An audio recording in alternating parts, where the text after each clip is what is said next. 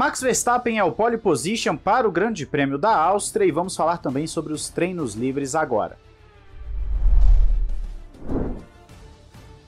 Olá, amigo do Ressaca Fórmula 1, seja bem-vindo a mais um vídeo. Eu sou Matheus Pucci e vamos falar sobre treino livre e também sobre qualifying, esse quali que definiu o grid para o domingo. Amanhã nós teremos o quali para sprint, ok? Se você ainda não estava por dentro, agora está.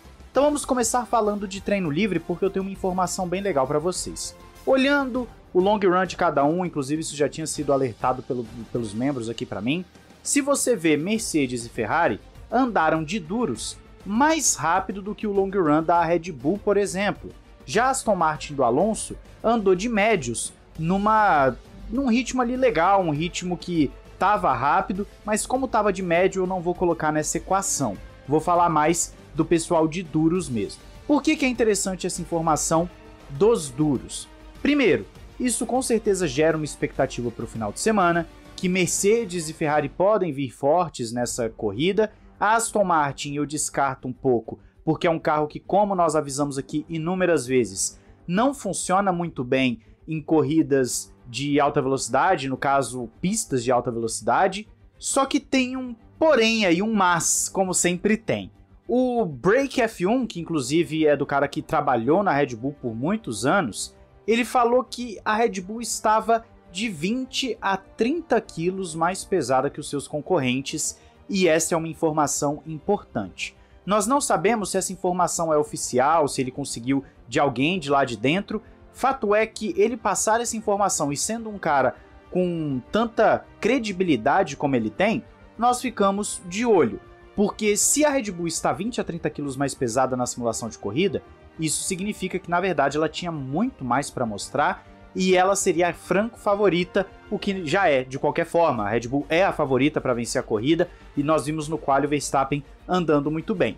Então as simulações deixaram essa dúvida. Mercedes e Ferrari à frente da Red Bull, só que a Red Bull então está segurando o jogo, ela está tendo essa visão de esconder o jogo, de talvez fazer um ajuste de pneu diferente, porque no ano passado o pneu foi o grande vilão da Red Bull na Áustria. Pois é, a gente vai ficar nessa dúvida e só vamos ter a resposta no domingo. Talvez na sprint a gente já consiga ver uma coisa ou outra, mas a princípio será no, na corrida principal do domingo. O meio de pelotão continua bem embolado, mas a McLaren parece que deu um salto. A McLaren do Norris está com atualizações para esse grande prêmio, enquanto a do Piastri não. Então a gente vai ter que ver se realmente estão conseguindo essa performance toda ou se é mais fogo de palha, mas pelo menos no quali e do que foi demonstrado no primeiro treino livre, a McLaren parece estar vindo bem sim. Passando para a classificação, eu quero abordar um tema muito importante com vocês. Antes disso, apenas falar quem saiu no Q1. Nick DeVries, Kevin Magnussen, Logan Sargent, Guan Yu Zhou e Yuki Tsunoda são os eliminados do Q1. Não tem nenhuma surpresa aqui, obviamente o DeVries está pressionado, pelo que estão falando, o Helmut Marko já deu um ultimato para ele. Ele teria essas próximas provas aí até encerrar esse ciclo da primeira parte da temporada para mostrar serviço, caso contrário, ele seria substituído nas férias de verão agora. Vamos ver se isso vai acontecer mesmo. Fato é que o pessoal já ficou eliminado no Q1, não tem nenhum, nenhuma grande surpresa. O problema mesmo tá mais no Q2, porque nós temos Pérez e Russell eliminados. Pérez vai largar em 15º, Bottas em 14º e depois em Piastri, Ocon e Russell. E aqui eu digo que tem um problema, por quê? Porque nós tivemos uma série de voltas deletadas. Isso mesmo, uma série de voltas deletadas, isso aconteceu no Q1, Q2, Q3, mas no Q2 isso ficou talvez mais impactante por você ver Red Bull, Mercedes, até a McLaren do Piastri mesmo, Ocon também teve volta deletada. Muita gente tendo volta deletada, os ponteiros todos praticamente tiveram voltas deletadas também. E é um problema porque eu tenho até falado no Twitter com o pessoal o seguinte: eu entendo que é a regra e a regra vale para todos, nós sabemos disso. Só que isso não faz da regra necessariamente boa. A regra precisa privilegiar o esporte e a competição, o show. Querendo ou não, nós queremos emoção, nós queremos ver as cenas plásticas. E a Fórmula 1 muitas vezes se apoia em muletas para fazer regras bem questionáveis. Até brinquei com o Vitor Ludiero lá no, no Twitter o seguinte: se tá cinza, é pista, então pode ir lá. Só que a Fórmula 1 colocou uma linha branca para falar: eu não quero que você passe daqui, dessa linha branca. E essa linha branca tira muito do que é legal. Nós vimos em anos anteriores que a Fórmula 1 não tinha uma forma é, específica de delimitar o limite de pista, só que virava confusão.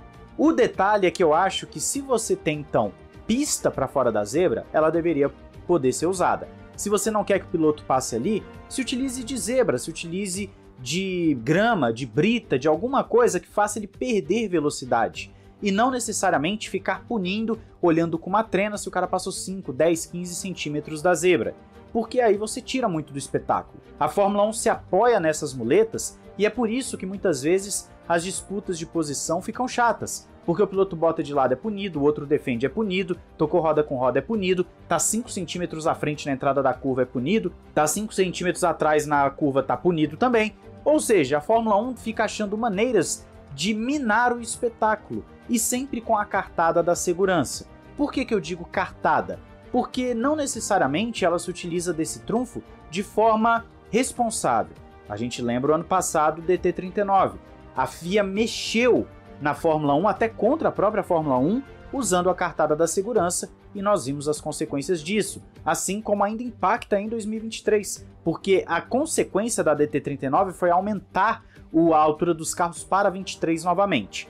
Então existem esses problemas. E aí o que eu quero saber de você é: você é a favor desses limites ou acha que deveria ser tipo uma NASCAR, uma Indy em que os pilotos vão simplesmente passando onde querem e tá valendo? Já que se ele for perder tempo, perdeu, ok, não, não, não tem problema. Os caras só não vão parar na arquibancada porque não tem como.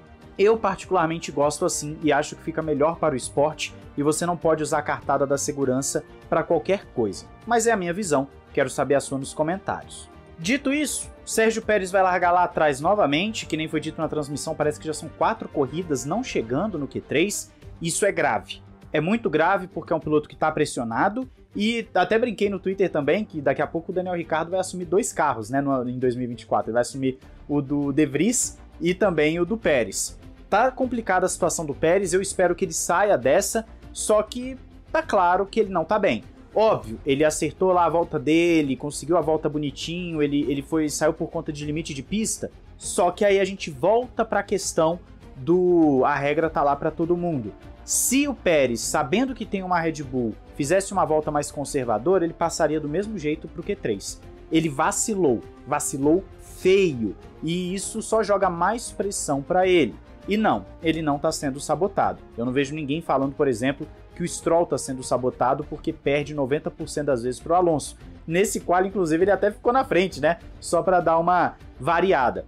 Mas o Pérez largando lá atrás fica feio e eu diria que ele já está começando a ter ali nos bastidores a batata assando, porque o Helmut Marko fala publicamente e nós sabemos que a Red Bull não é de ficar esperando muito. Eu ainda acho que o Pérez fica para 2024, mas ele tem que ficar atento. No Q3 tivemos Albon em décimo, ótimo quali do Albon, Pierre Gasly em nono, Huckenberg em oitavo, também ótimo quali do Huckenberg, Alonso sétimo, Stroll sexto, já esperado da Aston Martin, que não anda tão bem assim em pista de alta velocidade, Hamilton em quinto, Norris em quarto, excelente quali do Norris, Sainz em terceiro, Leclerc em segundo e Verstappen em primeiro. Surpreende esse quali? Eu diria que nos três primeiros não. No Norris ali na quarta posição, sim ali surpreende. O Hamilton tá ali numa posição também que já se espera, tal, da Mercedes, e é como eu tenho dito para vocês frequentemente aqui no canal. Não achem que as equipes vão simplesmente passar a Red Bull. Elas vão chegar aos poucos até o segundo semestre, vão conseguir desenvolver melhor. Início do ano que vem as coisas já devem estar bem mais próximas.